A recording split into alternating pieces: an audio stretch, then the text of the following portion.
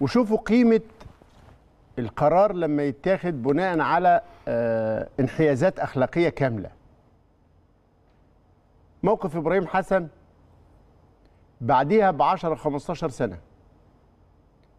ودرس في إنه اللاعب اللي بيمثل النادي الأهلي والمفروض اللي بيمثل أي نادي لأن كل الأندية ليها احترامها وتقديرها ويجب أن تكون منحازة اولا وأخيرا للأخلاق والسلوك.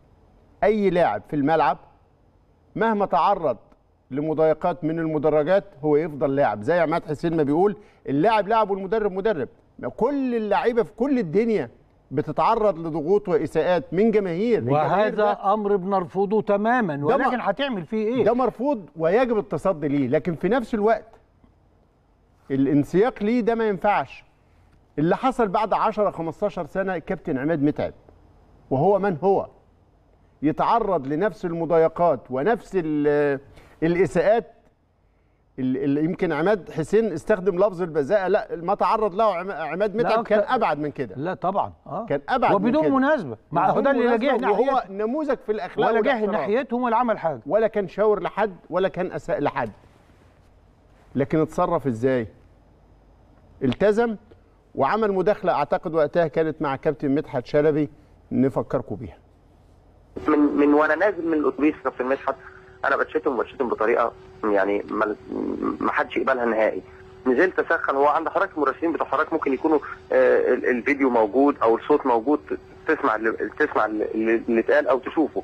ونزلت الملعب وأنا بسخن يعني لو كانت الكاميرا جابت لحضرتك اليوفط اللي مكتوبه أو أو الكلام اللي بيتقال آه، يعني ده ما يرضيش أي حد نهائي. ومع ذلك ولا فتحت بقي بكلمه ولا اتكلمت. وزي ما حضرتك شفت في الملعب كنت هادي جدا ولا بحكم ولا بعترض على اللعيبة وملتزم بفريقي وملعبي خرجت اتغيرت قعدت على الدكة ما فتحتش بقي كان كان في مشكلة بين بين الشباب ومش عارف مين. كنت بحاول أروح أهديه. وبعد كده وأنا خارج على أوضة اللبس. جمهور الزمالك بيشتمني فبسقف لهم وأنا خارج.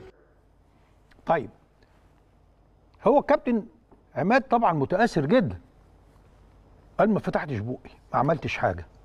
طب النهارده نتيجة هذا التصرف الراقي جدا الذي تحمل فيه آلام ما حدش تحملها لأن الكلام اللي اتقال وقتها يعني صعب يتحمله أي إنسان. ولكن هو محتواه كده. وأنا بقول لك كل اناء ينضح بما فيه. هو ده ده محتواك. فمش هتعرف تطلع غير محتواك النفسي والقيمي والاخلاقي وتربيتك و... ومكانك الشخصية وفي ناديك وفي كل حتة. عمل كده. هل في واحد في جماهير الأهلي والزمالك يا أستاذ إبراهيم ما يحترمش عماد متعب النهارده؟ لا. طيب كسب ولا خسر من هذا طبعا؟ كسب. كسب. طبعا. كسب مستقبله وكسب احترام الناس ليه.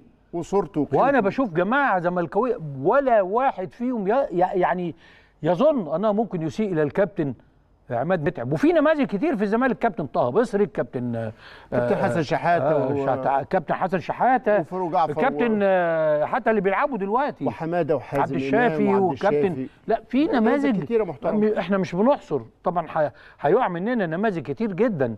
لكن إحنا- بنذكر لكن أنا بقول إن الجماهير موجودة. بتتفق على إن اللي بيتحمل وهي دي بقى شوف الرياضة بتديك إيه؟ الصلابة. وإنك تتحمل. ولما بنقول كرامتك تصرفاتك مؤكد. لو كان بادلهم كابتن عماد وقتها كان دخل في دايلما ما خرجش منه.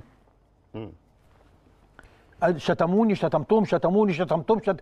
لازم يحصل ستوب لازم الموقف ده عشان نقدر نبتدي على بداية جديدة.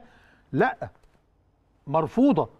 ما نبردش أي تصرف لأي واحد.